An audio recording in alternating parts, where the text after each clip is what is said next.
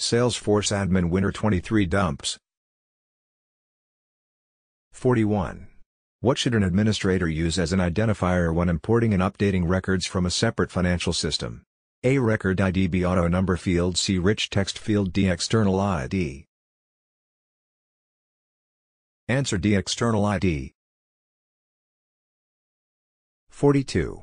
An administrator at CloudKicks has a flow in production that is supposed to create new records. However, no new records are being created. What could the issue be? A. The flow trigger is missing. B. The flow is read-only. C. The flow is inactive. D. The flow URL is deactivated.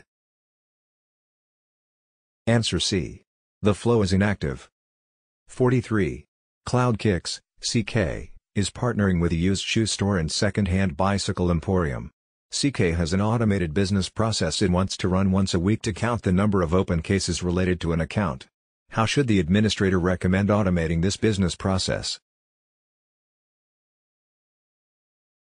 A. Set up a scheduled process in Process Builder. B. Create a workflow rule with an outbound message. C. Configure a scheduled flow in Flow Builder. D. Use a process to update the account when it is edited.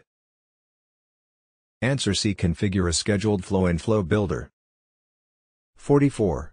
Sales reps at Northern Trail Outfitters have asked for a way to change the probability field value of their opportunities.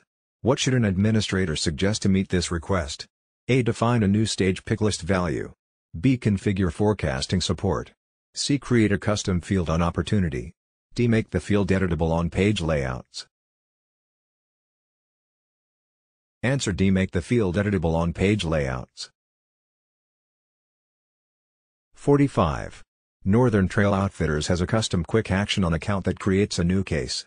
How should an administrator make the quick action available on the Salesforce mobile app? A. Include the action in the Salesforce mobile navigation menu. B. Create a custom Lightning app with the action. C. Add the Salesforce mobile and Lightning experience action to the page layout. D. Modify compact case page layout to include the action.